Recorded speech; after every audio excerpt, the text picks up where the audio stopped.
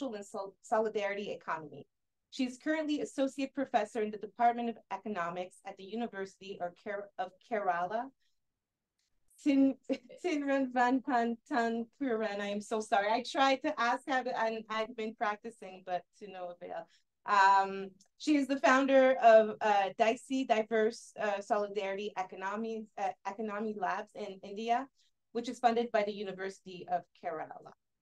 Her educational journey began with a Master's of Arts degree in economics from the University of Kerala in 1988 and completed a Doctor of Philosophy, a PhD, and economics from the same university in 2004. Noteworthy among her books are titles like Women Empowerment to Capacity Building, The Role of Microfinance and Inclusive Growth Through Social Capital Formation. Um, is microfinance an effective tool for targeting women. She's co-editor with Caroline Shenaz Hossein of Community Economies of the Global South, case study of rotating saving credit association and economic cooperation. She is recipient of a KN Raj Fellowship on Research Grant for Researchers and Economics from the Center for Development Studies. Thiruvananthapuram and publication um, grant from the Indian Council of Social Science Research. She has been awarded um, research funding from agencies, including the University Grant Commission, Kerala State Planning Board, ICSSR, Kerala Council for Historical Research, etc. Um, this event is presented by the Harriet Tubman Institute and the York Center for Asian Research. Uh, the speaker was invited to Canada by the Dice, uh, Dicey Collective and the University of Toronto. So the talk today is in, uh, entitled India's Solidarity Economics, an Indian feminist understanding of ROSCA, self-help groups, and the Kundam Bashri uh, system in Kerala. Uh, in the solidarity sector, and this is just a little abstract, so we know what we're getting into, very excited. In the solidarity sector, India is well known for self-help groups. This ability to mobilize groups is no easy feat in a country with a population of 1.35 uh, billion and hundreds of languages and ethnicity founded by caste, class, and such identities. There are various forms of cooperative, informal and formal in India. In India. Part of the diverse financial economy includes chit funds, a rotating saving and credit association, ROSCA, um, and this uh, system is both informal and regulated. Kerala's expertise in self-help groups and mutual aid with innovations such as CHITS and Kudumbashree has earned the state a rightful place as a leading expert on cooperative development. The talk will be based on an Indian feminist understanding of the wide variety of solidarity system in India and how they affect the lives of the marginalized section of society. So please, everybody, help me give a hand to introduce Dr. Christabel P.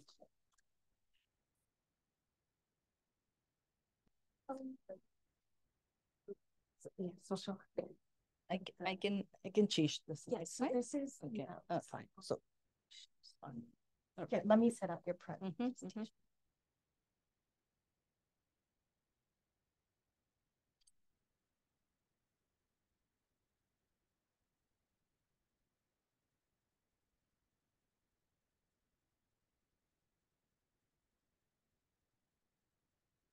Yes. Every evening, all of you who have joined here and also in. Uh, first of all, I'm so happy and excited to be here in York University in the community who is there So I'm also happy to join my uh, co-writer Sabu and also uh, Saliba. I think she will be joining very soon. And Professor. Uh, I, I forgot your name. I'm sorry. and uh, my dear student Lejo here, Donna, Shakti, uh, yeah, uh, Priyanka, and uh, yeah. So uh, I'm so happy uh, to be here, and I would like to share my experiences for, for the last 25 years. I'm working on uh, the solidarity sector. Uh, I started with microfinance, then later I, I started looking into the different forms of solidarities which are there in the in the different uh, arenas of activities, especially in agriculture, in industry. Because in India, we have a lot of experimentations on uh, collectives. So if you want to uh, in, uh, enhance agriculture, the farmers collectives uh, were initiated. So in order to make the industries live, especially the traditional industries live, industrial clusters were initiated throughout the country. So my focus was over the years, uh, mostly on the solidarity economies and how it works and how is it happening in, at the grassroots level. Because, you know, as a development economist, I can say that always the literature uh, says uh, the development happens somewhere else in the in the industries or in the in the MNCs, and uh, that development. Uh, when I when I when I was a student of economics, we used to be taught that that development will be trickling down to the different sections of the society. So that was not happening. Uh, that is our experience when when we start do our research and we, when we go to the field and see the communities uh, where they are, what are they doing, and the development uh, as far as they are concerned is much different than that of what is given in the or written in the textbooks. So I try to look the whole thing from the from the the alternative perspective that what the development means for for the for the people who are really needed to come out of uh, their poverties or poverty level or, or the marginalized marginalizations which are there they belong to. So that that was my my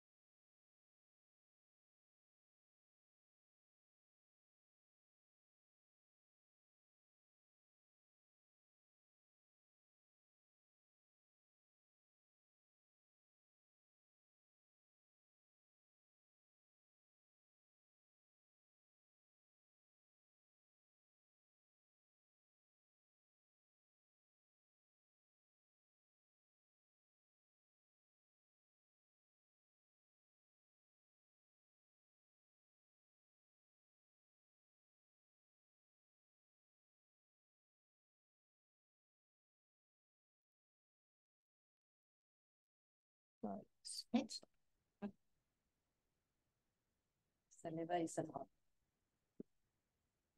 So, uh, some acknowledgements I would like to make, especially at the University of Colorado, uh, which uh, which funded my research and also uh, my my travel. And I'm here as a uh, as a member of Dice Collective uh, because uh, we some of us are together in order to initiate some research on diverse solidarity economies throughout the world, especially those, those who are there in the global south. So uh, that uh, that collective is there, and because of that collective and other other research activities, we are we are with the book, and uh, now is also a part of it. Saliva is also a part of it. We co-edited a book uh, along with uh, Caroline and it was a wonderful experience in order to uh, understand what is actually happening across the world as far as the rotating savings and credit associations are concerned. So I co-edited that book as well as I, I contributed to that book uh, uh, by, by, by the two so.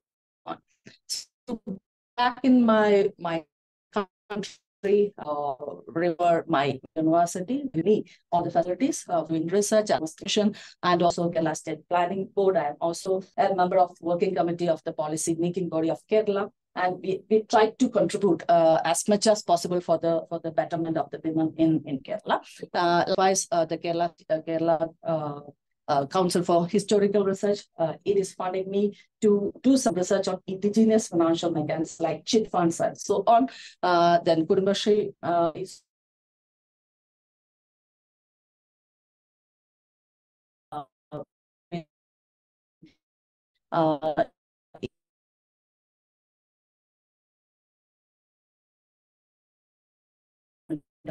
also uh, funding uh, me a lot. Come to the conference like this, and uh, very, very basic kind of a, a thing.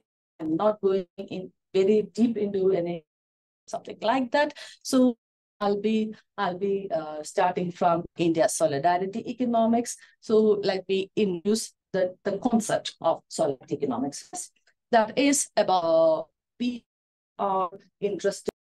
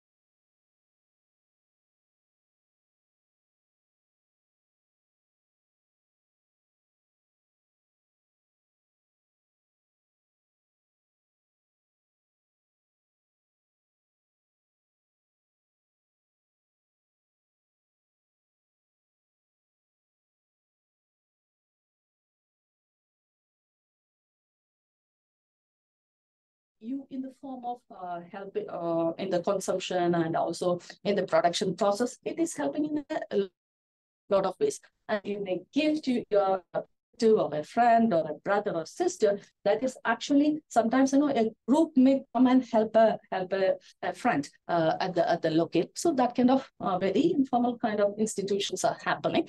Uh, and also the rotating uh, savings and credit associations which i may, may elaborate a bit in the in the down line and also we can see a lot of co-ownerships uh, and also collective ownerships. Uh, likewise, you know, uh, in, in Kerala, we, we, we can see a lot of experiences on community supported agriculture because, you know, uh, Kerala has a history of a declining agriculture sector where uh, people abandoning uh, abandoning land because, you know, land is becoming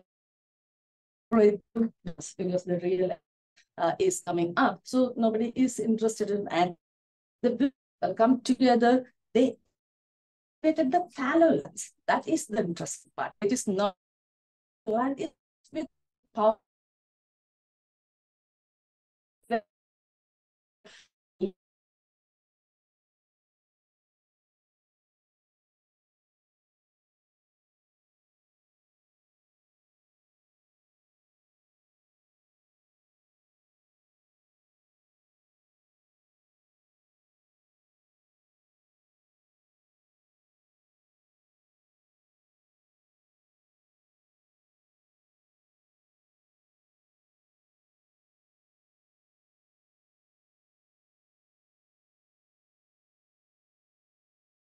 Some out there, uh, and also the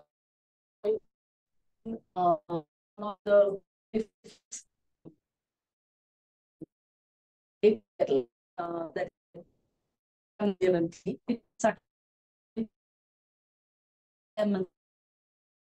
but I block how to run.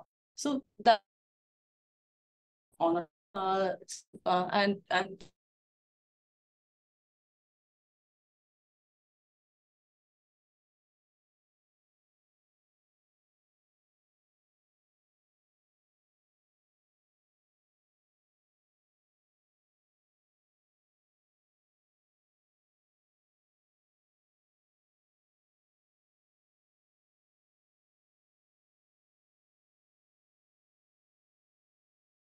when you when you go through this list, you can see that some of them are very much informal.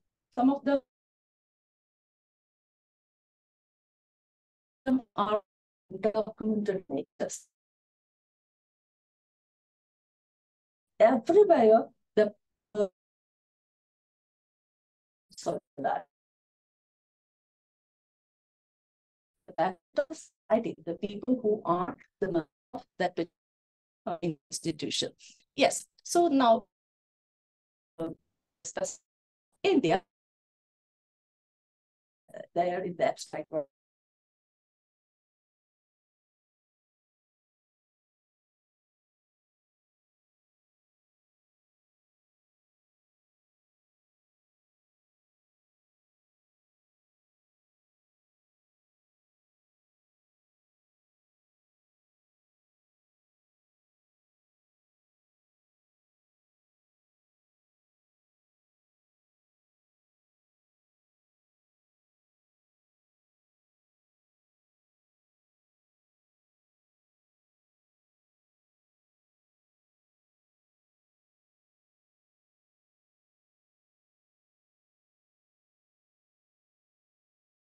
Linguistic minority, that kind of things, this kind of things are there. So uh, a lot of people is there.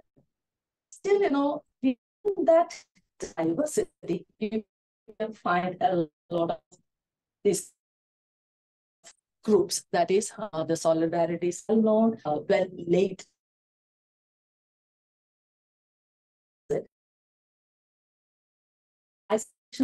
Having have in the over uh, through the that the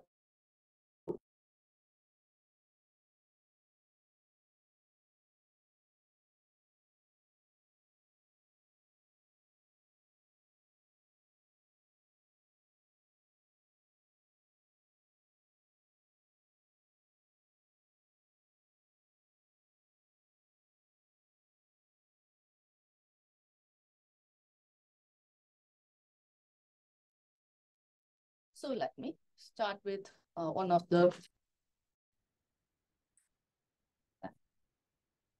yeah okay okay uh sorry for all the glitches yeah uh the first one which I which may which I which I which I give a very very short uh, uh, uh description is about the ROSCAs that is rotating savings and credit associations. We have the book. It is about the different different case studies which we have across the world, like uh, Brazil, Vietnam, Thailand, India. So uh, we can see a variety of uh, collectives, uh, that is commercial collectives at the grassroots level, they are the ROSCAs. So what they do is that uh, uh, the ROSCAs, they do the resource pooling among the among the among the members, and also they approve economic gains. Naturally, they have the economic gains because you know they get a pot because everybody is contributing uh, into the and at the same time you are saving at the same time you are borrowing from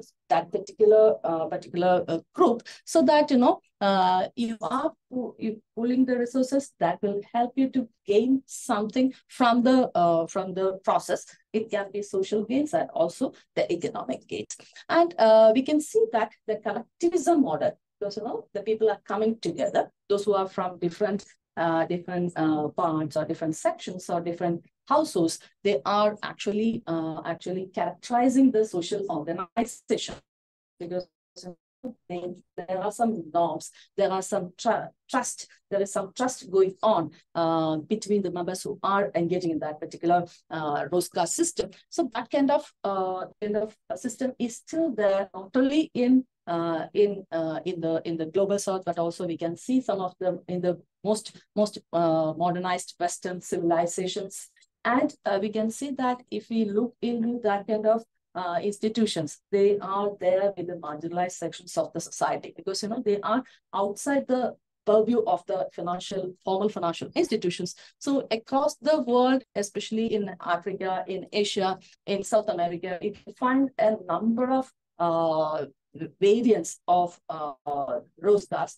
There are they are uh, they are known with different names, Ikyu, Bosu, or Tontino, Hyderabad in different different parts of the world. So, but at the same time, when we to uh, come to India, we can see uh, that again a lot of variance is there in Indian context. Uh, and we uh, even in in a small province of Kerala, we call it as uh, some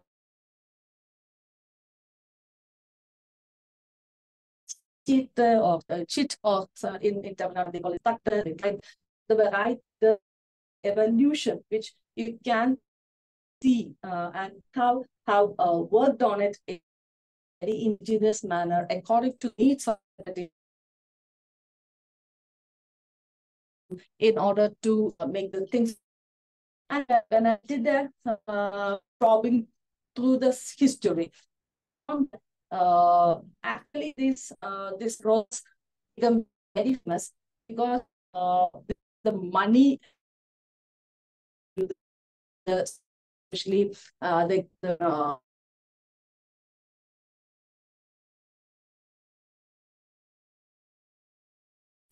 for the people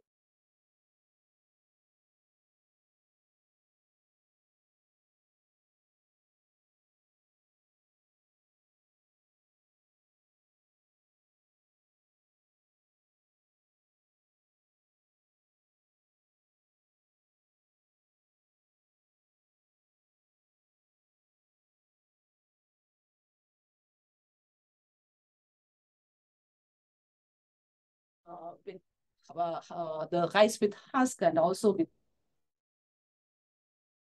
uh, so, so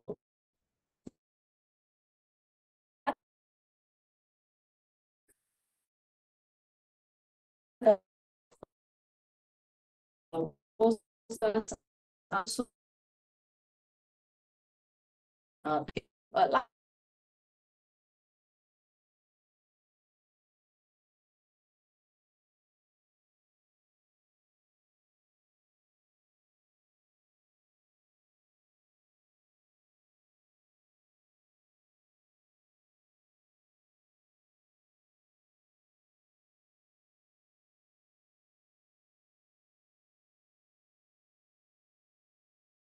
you are supposed to give it.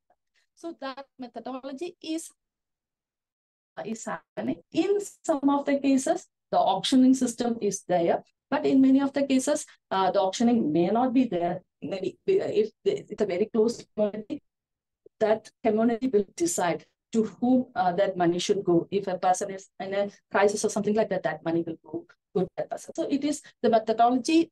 Uh, generally, it will be based on auctioning. Still, you know, there are variants we can find at the at the grassroots level. So uh, we can we can see that uh, it is uh, it is seen uh, among the lower as well as the middle class because you know the middle class even though they have some economic resources but at the same time you know they may need big money at times, like uh, conducting a wedding or, or building a house or something like that, or, or buying a vehicle. So they also engage in this kind of activities. Likewise, the business class are very much uh, involved in these activities because, uh, because they know that it is very difficult to get loans from the financial institutions if they are doing very petty business or, or, or, or trading business or something like that. For the money is an inventory. So they need money at a, at a regular basis. So they also engage in this kind of businesses. So uh, what we can uh, generally see that uh,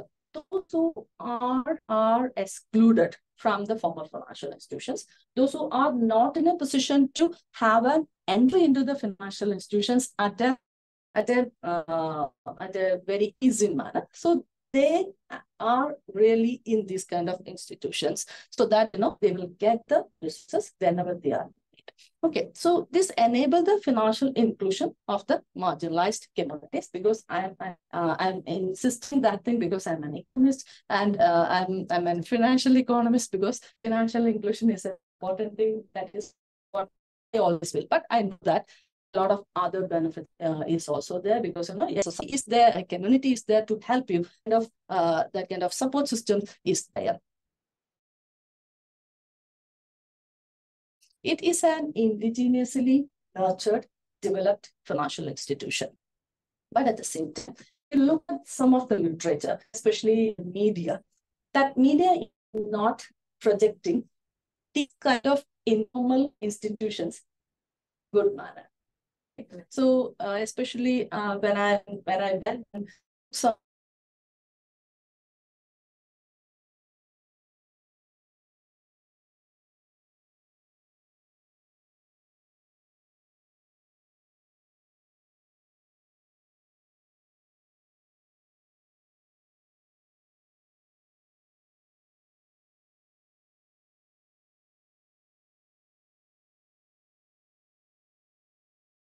there are some uh, cheating that is happening in this kind of institutions. So what they do is that when uh, but what, what they're trying to say is that when the institutions are becoming more and more informal in nature, that is that is uh, not that much civilized or that is not that much accept, acceptable in nature. Uh, that is actually looking from the point of view of uh, of the uh, of the capitalism or something like that. But you know, when you when you turn your your or, or change your them that is the most important thing in their, their life and they are that even there are even if there are still the people are believing in the kind of institutions so that reason why I, I always have a question. Even though this much financial institutions are there, a lot of financial uh, which and it are existing in the in the local, uh, especially in the global south. Uh, so, uh, but it, you know,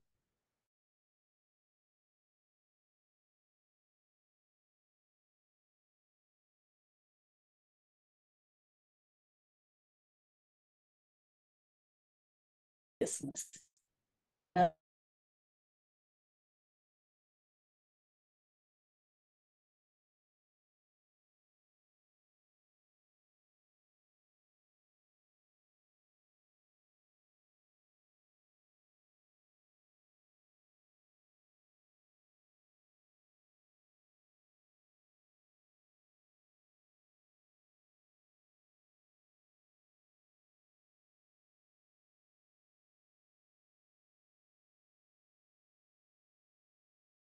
there should be some regulations, some rules. Should. But I'm not always for that high, high level of formalization. Still, uh,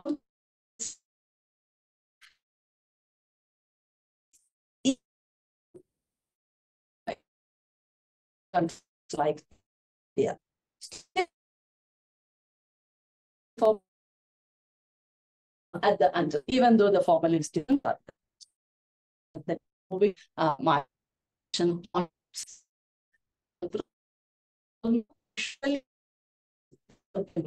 women are coming together uh, there in in the in the south uh, global south in 80s it started in different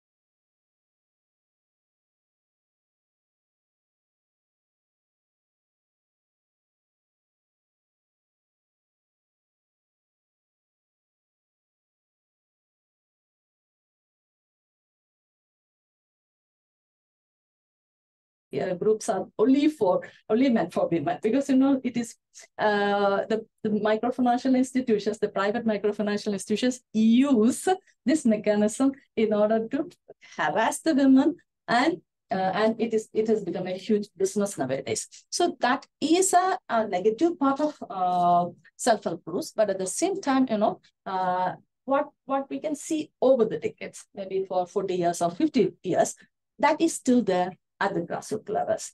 And, and who are the members of that uh, self-help groups? They are the women. And, uh, and, you know, the group methodology is happening and group liability is there because if one person is not paying back the loans, the other people will be pressurizing that person. So everyone will be uh, liable to get, give back the money. So that kind of uh, methodology is going on. That's and you know why these groups are still there. I, I say I'll say that it is because of the money involved in it.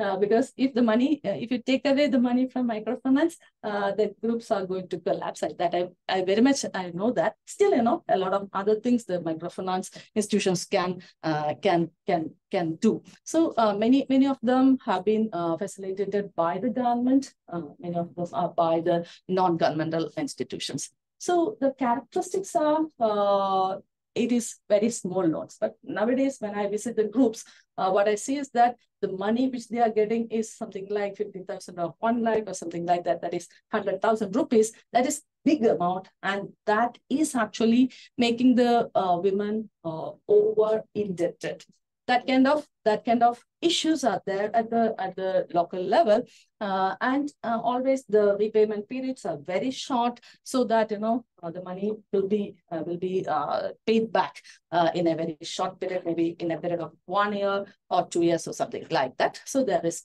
group contract and the self-help groups will be vetting the loan applications and they have some standardized practices in order to keep all the records and auditing procedures are there and uh, that kind of uh, that kind of methodologies they have already uh, standardized and that is making the uh, making the groups to go forward. Like you know if a person is coming late for the meeting they will charge some fine. So they will be very uh, very much uh, you know uh, alert of the time of the meeting and that kind of things are very much standardized over the over the years. It is not uh, it, it it is not happening in one day or two days time.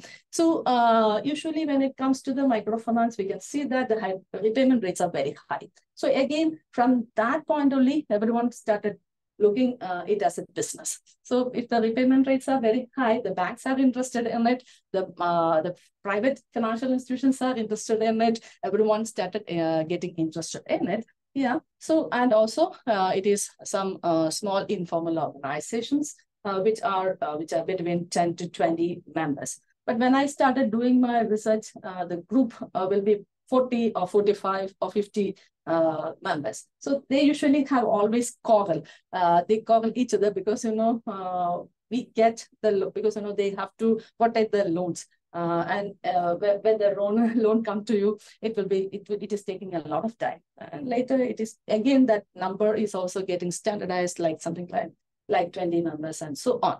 So uh, earlier uh, it used to uh, be called as microcredit only. The credit component had very important role. But later when we go to the uh, field, uh, the people, especially the old women, they, they give very much importance to the savings. Now I have 5,000 rupees in my in my passbook. So if something happens to me, uh, I'll, I'll get good good funeral or something like that. That kind of that kind of um, um, uh, responses we can we can get from the field. And for that, uh, no, that is a great thing. You know that savings part uh, is something like an insurance for the women who are from the uh, from the backward regions. So uh, savings is an important thing. Then credit is also there. Uh, many of the many of the groups they they convert it into micro enterprises.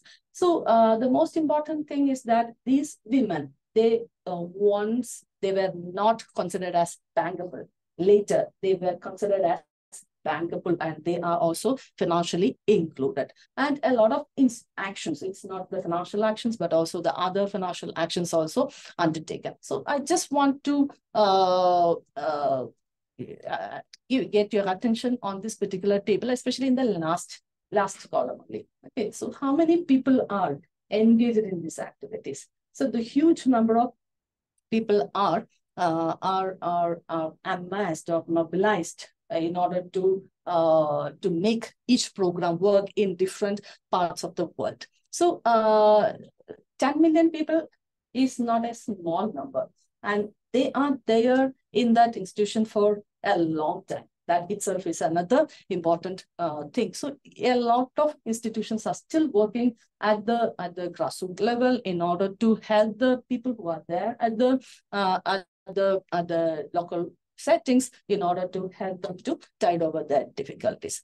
So I'd like to give one interesting uh, case of India where these self-help groups, uh, they are linked to the to the banks. So that was a that, that was a huge program which has been initiated by the National Bank for Agriculture and Rural Development. Actually, that is a, a, a, a, subsidiary institution of the Central Bank of India, that is the Reserve Bank of India, in order to give importance to the agriculture and rural development. So they only uh, started getting interested in the self-help group movement. And even in 1992, very, very early itself, they they jumped into this uh, particular program and they had the women to get linked with the formal financial institutions. Uh, uh, earlier, the nationalized banks uh, were showed some interest because they were very much reluctant to take the uh, take the loans and the savings of the of the women because the women usually were excluded from the formal financial institutions. Now, uh, now the group has a has an account with the bank and the bank keep that savings with them and they will be monitoring the group for six months based on some performance indicators. If the performance is good and the, and the group is viable in nature, then the bank will give uh, credit to the to the women. First, it will be in the form of one is to one um, uh, uh, ratio, then they will increase if the if the people, if the self-help group gives back that uh, repayment in a, in a regular basis. So uh, you can see that uh, earlier why the women were not, not included because if you, uh, if you keep separate bank accounts of 20 women, the transaction cost as well as the uh, bank is very high. But now uh, the transaction cost has come down because 20 women is there in a particular group and the bank need only keep one, one account for each group.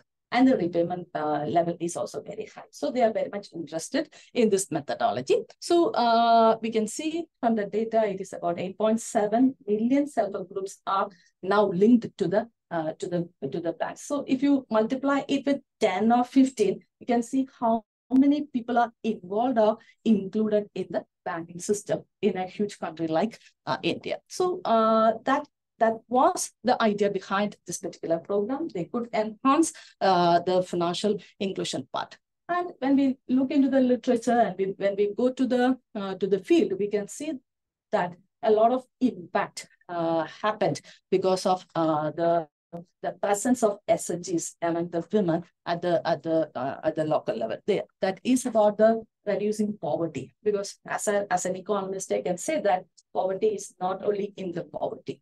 Poverty has uh, multidimensional uh, features in it. So uh, different type of poverty uh, has been addressed by the self-help groups in a in a in a in a in a in a long time because you know it started in 25 before 25 30 years in many of the regions and they are still going on and they are working uh, among the people who are there at the grassroots level and also uh, gender participation uh, has been increased in different kinds of activities. It can be, you know, uh, when I started my fieldwork, I uh, my um, my respondents, my the people who are there, beneficiaries of that self-help groups, they used to say, tell me that earlier we used to be at home. We don't have any place to go out. So the women started coming out of the houses and they started engaging in one activity or another activity. So the mobility of the women increased. That itself is a great change uh, which took place at the at the local level. So uh, that participation of the women in different activities uh, enhanced over the years. And uh, that even had some dynamics at the ho household power. And some people, they, they, they take it in a very negative manner because you know the, the women started taking more responsibilities, the men become more lazier. That kind of case studies are also there. Yes, we can see that still, you know, the power started uh, concentrating on, on, the, on the hands of the women because they started taking decisions regarding the education of their children and also even fertility, that kind of very, uh, very important decisions have as far as women is concerned, uh, that, that kind of changes started taking place. So, and uh, in general, the economic empowerment uh, that actually had uh, some very interesting uh, changes in the societal uh, scenario also. But some criticisms are also there uh, in the uh, in the in the scenario. Some people like Bateman and other people, they attacked microfinance like anything because it is something like a neoliberal tool in order to uh, put the ideas of uh, capitalism into the mind of the people. That kind of uh, that kind of uh, uh, criticisms and attacks are there. And when there is a huge crisis, whether the women can tide over that crisis with the small loans they are getting. So that kind of questions are asked. Uh, and also in many of the cases, the loans will be there. Uh, in many of the many of the groups, when we talk to them, they do not need loans. So the money will be there because you know they can't engage in uh, the activities uh, because of their cultural constraints, because uh, they are supposed to be at home, they have to look after their children or old age, and the care economy plays a very important role, and they are supposed to take care of all those things, and they are not converting that funds into activities. So that kind of issues is there, and the entrepreneurship uh, that is also being hindered because of their basic issues as far as uh, the women are concerned. Uh, they have the illiteracy, uh, and we, we can also uh, see the management issues. When we go to the field, we can see that the, those who have taken uh, these loans, they start small shops or something like that. That is not viable in nature, and uh, many of them are, are not uh, running properly. That kind of issues are there.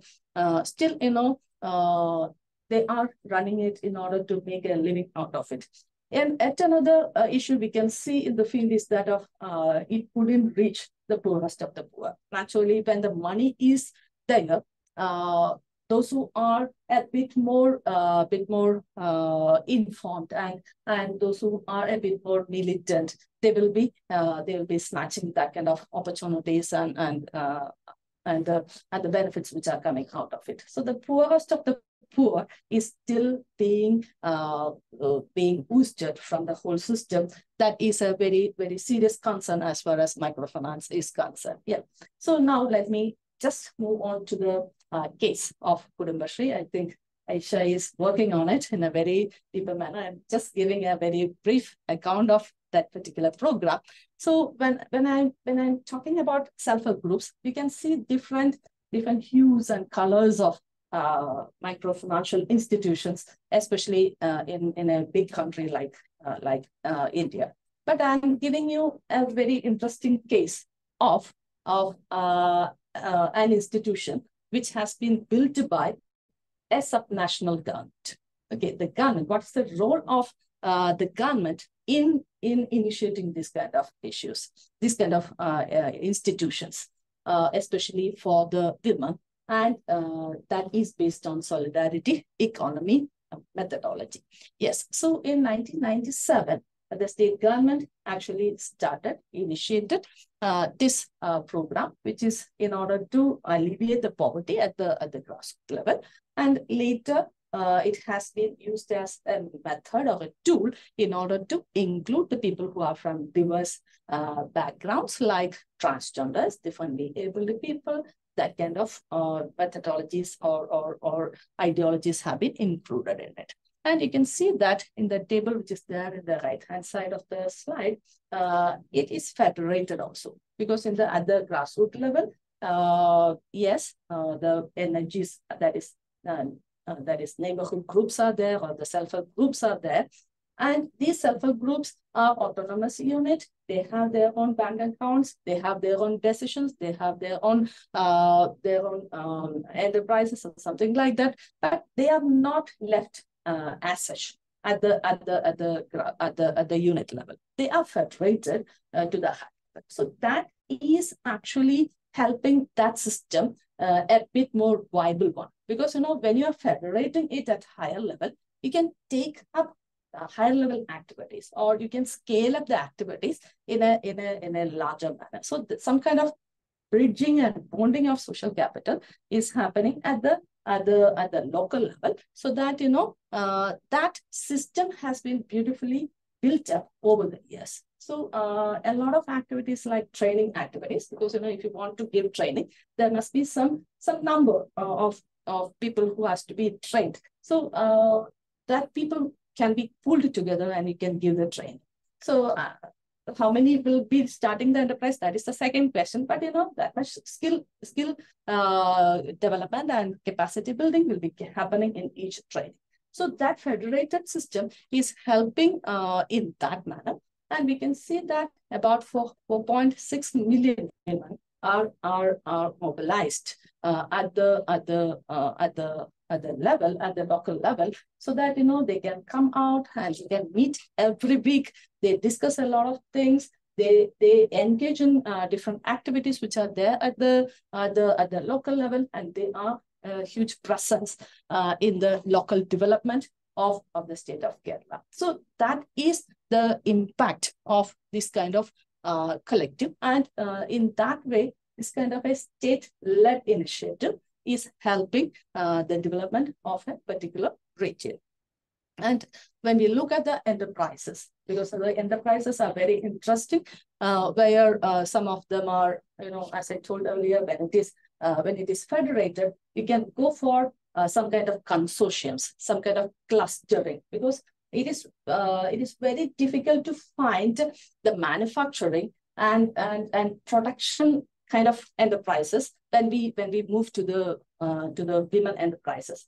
They may they are supposed to do some trading or uh, or some kind of uh, consumption activity or something like that. They may make some pickles or something like that. But you know, uh, are women capable of taking up the production activities? That is the question uh, we I usually ask when I go to the uh, to the field. Yes, they can because you know they come together and that federation and that consortium, uh, that kind of clustering that help them to uh, to take up some very challenging kind of activities, especially in a state like Kerala where industrial climate is very poor. Okay, so whether they are very much successful, that I uh, that I'm not uh, I'm not uh, uh, I'm not giving a very good certificate for them. Still, you know, they are making some attempt. Okay, so likewise, uh, uh, some production, consumption interventions, likewise, likewise, the marketing interventions are also taking place. Very interesting uh, uh, example, which I tried to give a glance at the, at the earlier uh, speeches of my presentation, is that of the collective farming where the women come together, they take up the agricultural activities, which has been abandoned by the so-called farmers and so-called land owners and so on. And they, they are, they used to be just farmers.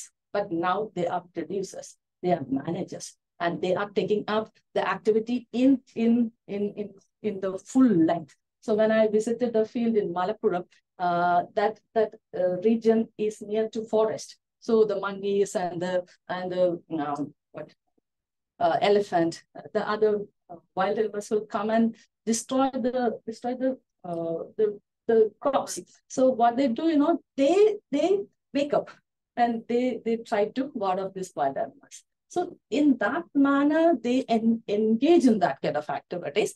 Yes, sometimes, you know, they say when we produce, we, we are not in a position to sell it. Uh, women from Alappuzha, they told me we, what we do when we when we produce the vegetables, nobody will come and take up from our farm. So we take all these all these uh, vegetables to the highway and we sell it at the highway. When women are selling it, people will come and buy it.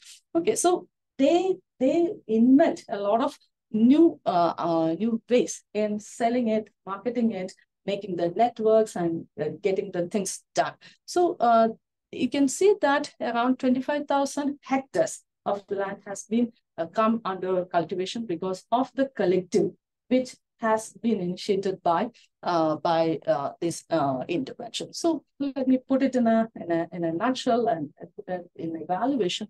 Yes, it has been started as an uh, as an uh, as a project in order to alleviate the absolute poverty in the state. But at the same time, you know, uh, later it become an inclusive uh, kind of an organization. If you go to uh, the plantation workers in Idukki or uh, scheduled tribes in Wayanad, the women are, are, are, are part of it. Yes, there are some variations in the participation and also the impact is not uh, not same or equal across the regions. Still, you know, in, in regions like Malappuram and also Alappuzha, Palakkad, Thrissur. At that regions, there you can see a very, very, very interesting kind of results and impacts. And, and I'm not saying that it is, it is same across the regions. Still, you know, that inclusivity, inclusivity is a very important thing. And they engage in a lot of activities, not only in agriculture, not only in manufacturing. Uh, they started doing some very innovative projects on health, social sector, the care economy, information uh, technology. They even started units to service the computers, laptops. So uh, they they uh, they uh, just enter into different kinds of uh, kinds of institutions. Even one of the one of the groups they start even started a marriage bureau one of my students, she did her uh, master's dissertation in that. So how a woman can uh, conduct a marriage bureau with all the all the very uh, technologically advanced marriage bureaus are working uh, in in a state like Kerala. So uh, you can see uh, the women try to try to find some niche uh, areas in order to conduct their activities, and that itself is because of they are supported by a system which is there and the collective force and the solidarity is, is working at the grassroots level. And uh, when it comes to the uh, political participation, uh, in Kerala, uh, we had a uh, very interesting experience, experiment of decentralized planning. That is, you know, we have the plan funds. That is, we plan for five years. That is the way we usually uh, plan. And 30% of each year's plan plan fund is is uh, is given to the to the local governments. Okay, so the 30% means it's a huge chunk will be going to the different local self-governments at the local for the local level development. So uh, when it comes to that part, uh, that decisions are taken at the at the Grama Sabhas, that is the people who come and decide what they need for the uh, for the local uh, local area. So I used to visit the Grama Sabhas when I when I do my field work. So you can see that the Grama Sabhas will be uh, around 80%, 90% will be women. So that kind of participation, that is, you know, you come and and uh, talk about your local needs, uh, to whom uh, the toilets are needed, uh, where where should that um, that drainage uh, pass through. That kind of decisions they they make by discussing and they bring out the issues which are there at the local area. So the women started participating in the uh, in the local uh, local planning process, and that makes a huge difference uh, in the in the local areas. Yeah, and also uh, uh, in Kerala we have the fifty percent uh, reservation for women in the local self governments. So one small data I have given over here in December 2020, uh, around 16,000, uh, around 17,000 women, they, they participated or they, they contested for the elections. So that means, you know, the women uh, who are there in the in the visibility at the local level, they are they are naturally the members of these these organizations and and around uh, one third of them got elected also. So these kind of changes we usually not document and we usually take it as a development process or something like that. We always think that the development is equal to how much uh, GDP has been increased or what is the growth rate. No, it is not like that. When you look in a holistic manner, uh, this kind of participation and, and making the changes at the local level is much, much more uh, important. So let me conclude. So I think uh, I'm on time. I have five more minutes. I'll conclude very fast. Uh, yeah. Uh, so uh, what I'm trying to say is that, yes, the ideas uh, that are innovative in nature. Because, you know, when it comes to solidarity, uh, when you when you move from one type of uh, solidarity economy to another type of uh, groups and other things, the idea changes from one, one, one group to another group. And how, how they solve the issues, how they resolve their conflicts, that is entirely different. So the innovative ideas uh, uh, can be seen across the different types of solidarity economies which are there in India, in the concept of, in, in, the, in the context of cooperatives or mutual aid or any kind of solidarity economies which are working in the, uh, in the local arena. And in many of the cases, the government's effort, because government also has recognized solidarity economies as a, as a uh, solution or a viable viable tool in order to solve a lot of problems which are there in the in the local level, especially the financial markets, because financial market is very complex because uh, uh, a lot of people who are there in the financial markets uh, and, and and especially the formal financial institutions, they are looking at a very or doing very very risk-free business and so on. So these kind of methodologies are helping the women and the poor people who are marginalized. They can take take part in the in this kind of economies. And uh, it is very surprising to find that there is a sustainable participation of the people. If the participation of the people is not there, if the uh, if the enthusiasm dies down, naturally the solidarity economies cannot work for a very long time. And uh, as far as India is concerned, its uh, its solidarity economy sector is uh, concerned, the tradition of self-help, because we think that uh, the poor, the marginalized, they are not, not uh, they are very lazy or they are not trying to come out of their situations. But that is not true. They are trying to help themselves. And sometimes, you know, they are not in a position to come out of their situations when they are all alone. So that is the reason why they come together. So that is what we see in many of the situations in Manipur where I where I did my field work as far as Kurikalyanam, another another uh, indigenous mechanism which we can see in it, see in the northern part of Kerala, where it is a it is a uh, uh, it is an indigenous way of crowdfunding. You you uh, small chits to all the people, inviting everyone for a tea, uh, and everyone who comes for that uh, tea party will give a money, uh, and that will be recorded. So it is a crowdfunding that will be starting from nine o'clock in the morning, and it will uh, end at 7, 7 p.m. at night. So by that time, they raise something around 10 lakhs of rupees, that is uh, 100,000 uh, into 10. That much money they raise for some particular purpose. So that kind of community crowdfunding kind of things, because you know they know how to how to help themselves. So the tradition of self-help is very much there in the uh, in the global south, especially among the marginalized sections. And that is actually actually founded and invented by the people. And they nurture it. They don't want it to die away. And they bring forward. And also uh, they embrace all the varieties of uh, solidarity economies which are there at the at the local settings. And also uh, we can see that when we talk to them, that help them to guide them at, at times of crisis. And that actually they are keeping it uh, close to their heart, even if there are some inherent issues which are there inside. So that that is actually uh, alternative ways of, of making the development happen at the local areas uh, in, in, the, uh, in, the, in the scenario of global south.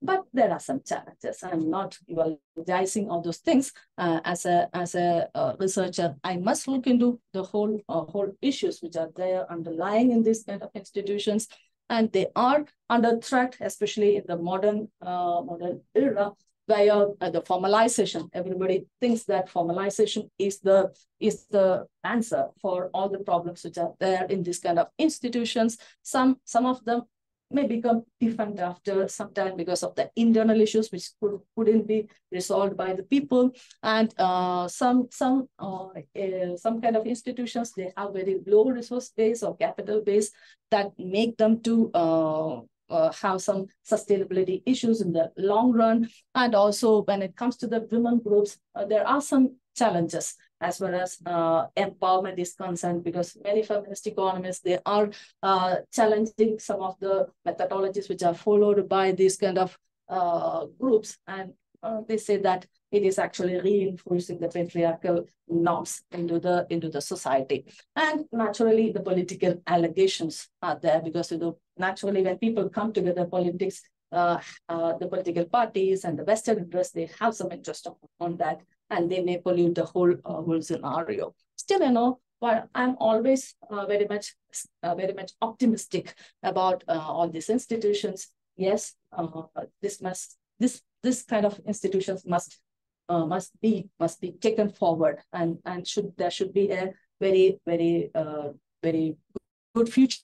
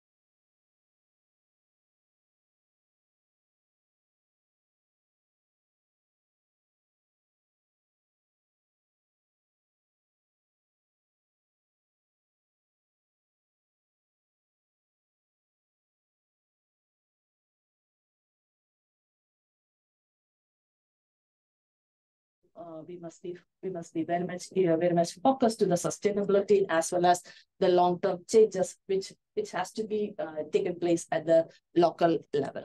So with these words, I'd like to conclude. Thank you. Thank you so much for so much. It's very rich uh, presentation, a lot of a lot of feel about videos and IT economies and sound like using face. So yeah, you want to have some other. I have another one. Thank you. Thanks for coming. Yeah. Uh-huh. We still have some people. Yeah. So Yeah. shall I? So yeah, we can take out that PowerPoint from it.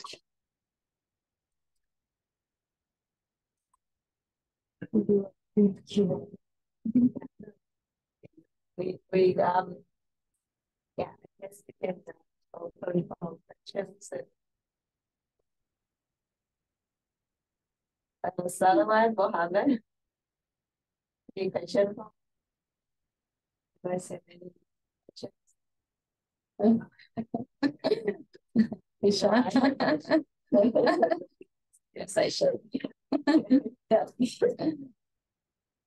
I, I, I, it's just amazing, right? You know, when you talk about solidarity of economies. Yeah. Uh, I'm curious, like you, you talk about when you say like the self-help uh, groups are mostly like women. What about Rosca? I mean, is that also strictly women kind of dominates or women play or rather so have? Yeah. in- The Roscas uh, Yeah. are run by both men and women at the informal settings. Uh, Okay, uh, especially uh, in very local areas, women are more active in that kind of process. But when it comes to the formal kind of things, you know, when it becomes more formalized, when the money is more, naturally men will be uh, the members in that. But if the money is very less, okay, if it is thousand rupees a month, you are putting it, so you'll be getting, if there are twelve members, you'll get only twelve thousand rupees. When, when that, uh, when you, you, your turn comes. But for that small amount of money, the men may not be that much interested. They are interested in big money. So they will be, uh, paid some kind of, uh, a bit of more for, when it becomes more and more formal, the participation of women will come down. Uh, if it is highly informal, the, uh, the participation of women will be very high. So that is what we can find. in the. Government have have the regulations also? Yes, yes. Because, you know, because of some, some kind of uh, default cheating, that kind of uh, issues are coming up. Uh, there are some regulations on place, but there is a separate act for Roscas in India and also in Kerala. A set of regulations are there. It should be conducted in this manner only. If it is not conducted in this manner, it will be considered as some kind of money laundering business. So it is regulated in that sense. If you are running a formal business, but at the at the ground level, uh, still now the informal workers are going on, and it is uh, we can call it as very hidden kind of institutions that is there. No one is uh, bothered about what is happening. Does the government regulate the rate and the interest rate that?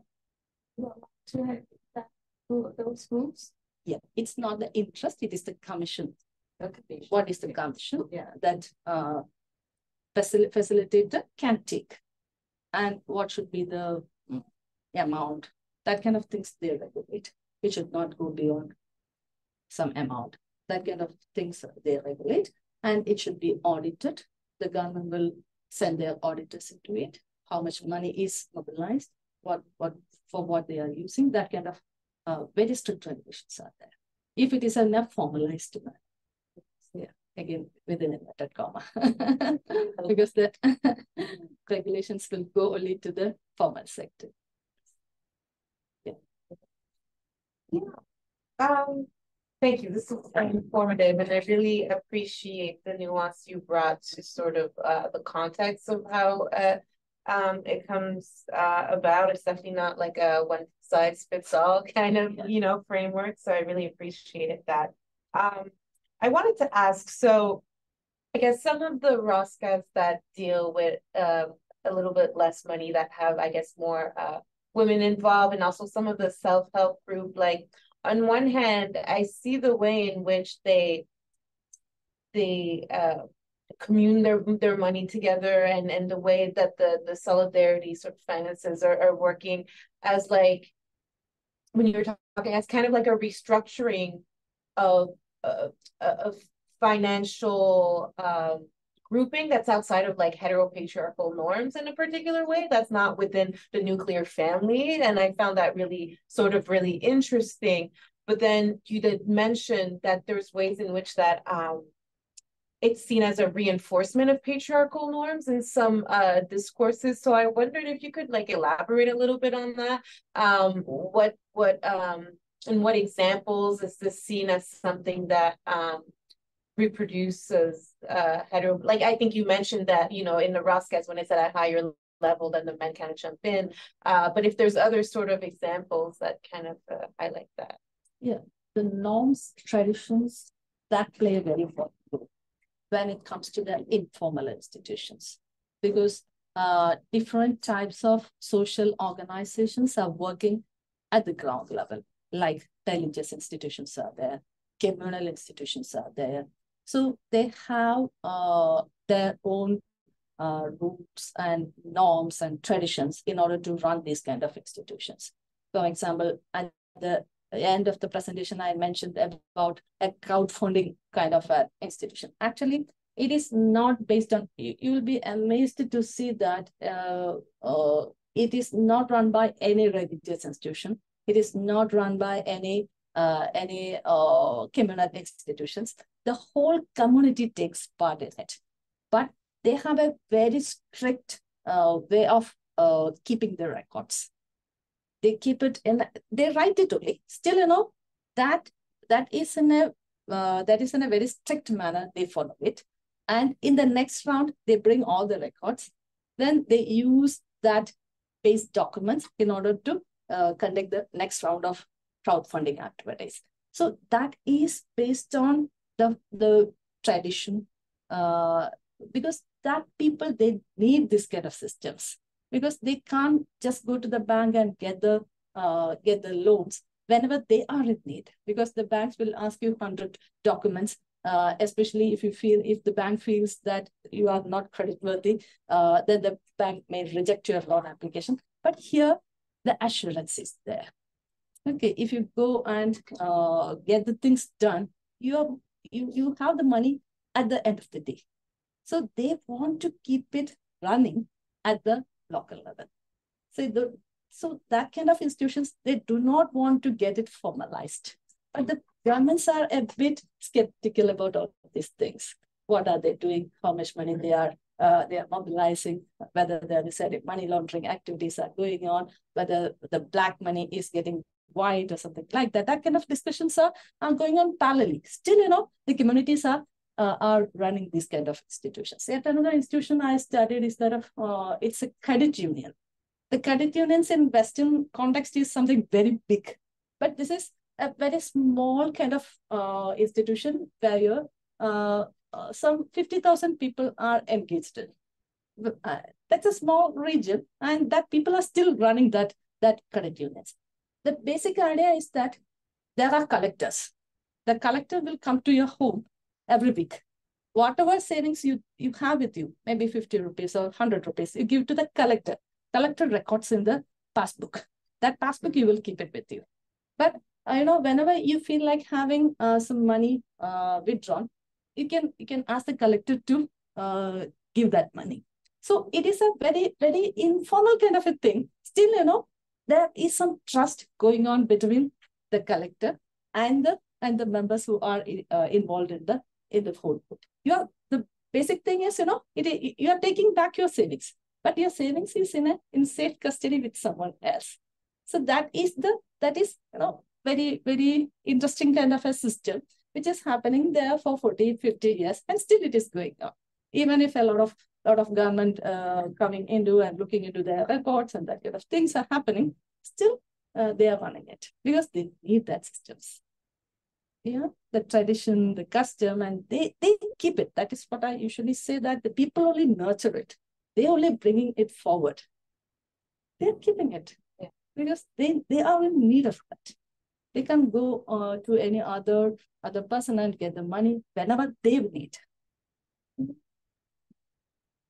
And it's ironic that, you know, media, the politicians are talking about corruption. And it's sure like any any institution that has power has the the uh, can fall to corruption. So it's like it's ironic that the, the media and the government is pointing yes. finger, you know, the yeah. Because yeah. they need sensational news. Right. But I can never think from the point of view of the people who are involved in all these kind of businesses.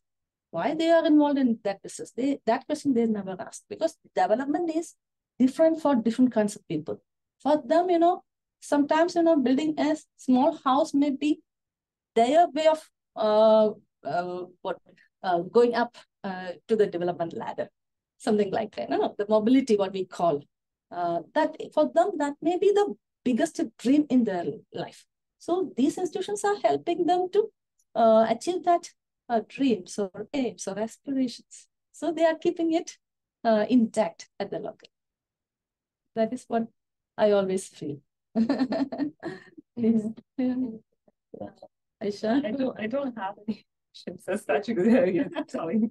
Just to add to like what you were saying, like about the patriarchal norms, it it again, you know, as she mentioned, or you know, I think it changes for women to women, society to society, you know, the Western mm-hmm. context when you see patriarchal norms, whether it's, but still there are scholars in Kerala who uh, strongly criticize Kudumbashree interventions, particularly uh, saying that women are used as mere, like I'm talking about Kudumbashree, like the one mm-hmm. government mm-hmm. intervention. Women are at, at times used as mere shock absorbers, you know, or women, uh, uh, women's effective labor, positive uh, particularly women's emotional labor has been uh, needs to be recognized and that is something that is kind of uh, you know misused through some of these you cannot say misused would be a very hard word. Uh, you know need to be recognized and you know that this kind of labor is actually used in some of these interventions. But for, as a researcher when i studied Kudumbashree, what i felt that's very important to look at these interventions as, as you mentioned, with the perspectives of these women, you know, what it means for them, you know, rather than us discussing in these intellectual circles, you know, about patriarchy and what works for them and what works uh, in these universities or academicians or us is very different, you know.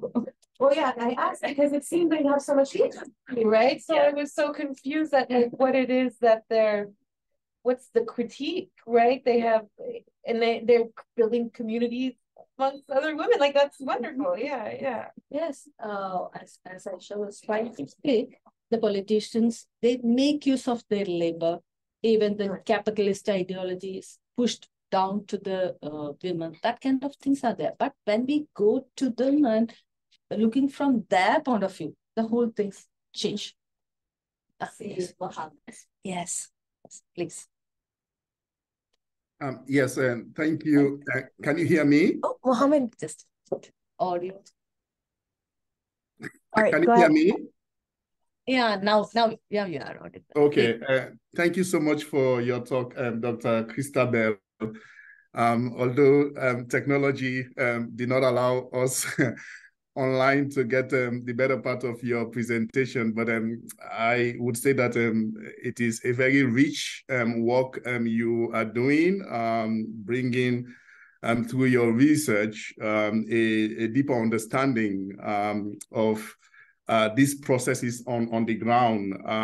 I can see some examples in the African context, and specifically in Sierra Leone, where I am coming from, I know that there is a, an informal grassroots initiatives by women called Osusu, where um, um, women at the local community level would identify among them leaders that um, will be the primary collector um, of a certain um, amount of money, and they will rotate um, the overall sum of the money from one person to the other.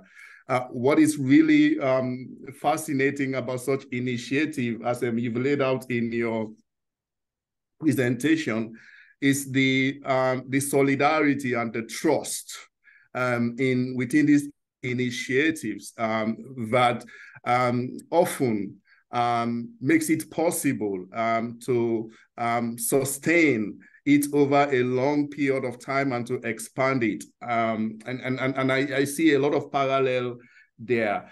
Uh, my, my question, uh, maybe you spoke to this um, while we are having technological difficulty, has to do with uh, the neoliberal economy. Uh, you mentioned that um, some of this has to do with um, tradition, um, indigenous um, practices um, that are within these communities.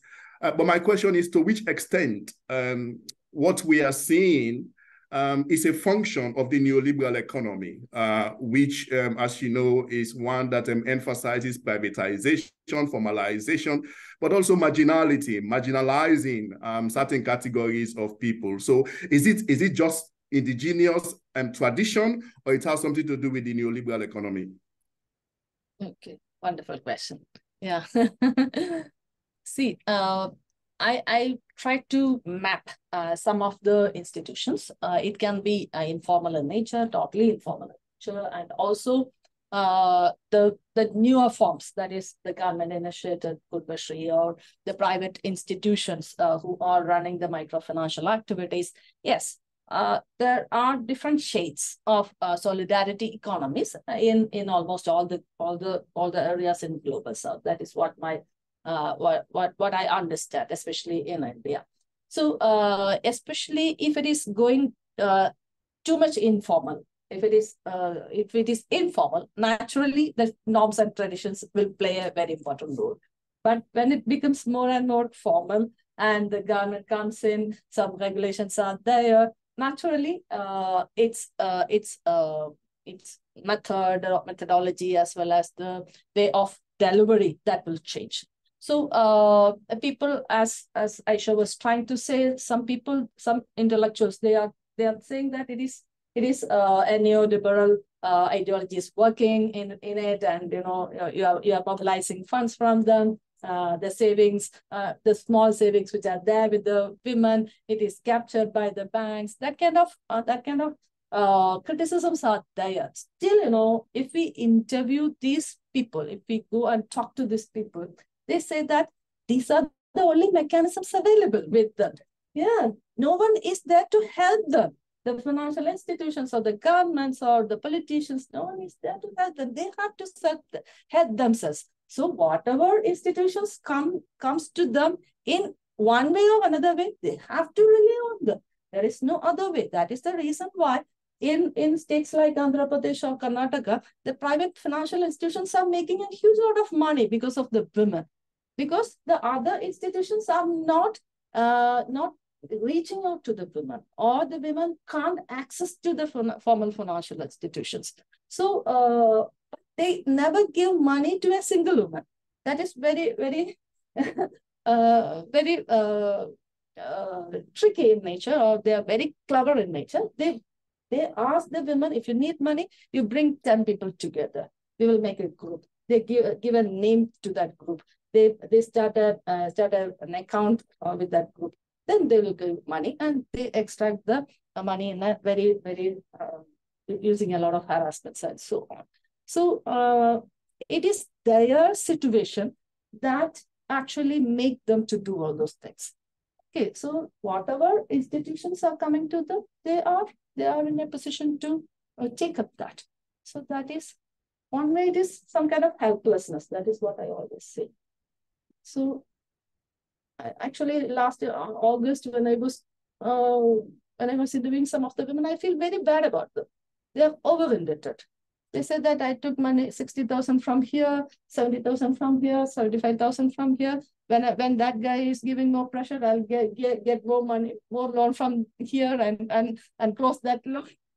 So they cross finance, that kind of things are happening. That's true. Still, you know, where will uh, they go if this one is not there?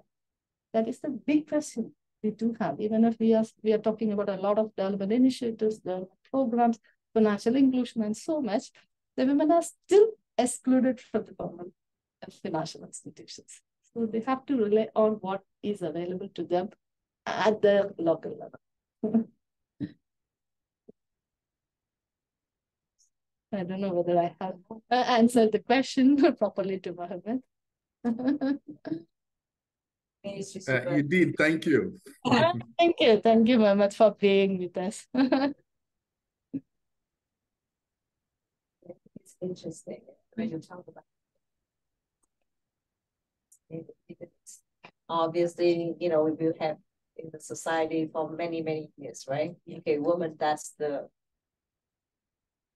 position for women here, and then now, you know, that's for men, and then now women can have, make some money and, and get more involved in economic activities. And, and especially when you talk about the collective farming in, in Kudumbashrees, and, and I think it's amazing. And how, yeah, women can mobilize themselves, work together. Yeah. I want to place a man you know, in, in that situation, like it's like there's some I read some articles about like how men uh, they, they have tried to bring their home, uh, their wife back, like not involved, that they do not Yeah, allow the wife in, involved in those activities. and You know, in those guys, what they gonna do? Yeah, that kind of conflicts will be there. That, you know, In a household, the power dynamics play, will be playing an important role. These women, they are able to come out of that to some extent. Still, you know, they, I'm not saying that it is a very, very smooth kind of a transition. No, they are struggling at their household level.